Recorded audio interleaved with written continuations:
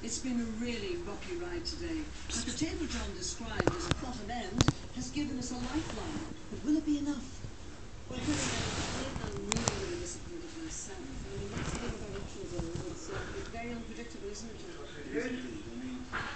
Very good. Very sophisticated uh.